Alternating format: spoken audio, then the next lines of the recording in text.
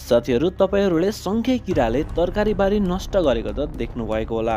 तर तपाईँलाई थाहा छ सङ्खे किराको मुखमा दाँतहरू हुन्छन् र ती दाँत दस बिसवटा नभई चौध हजारको सङ्ख्यामा हुन्छन्।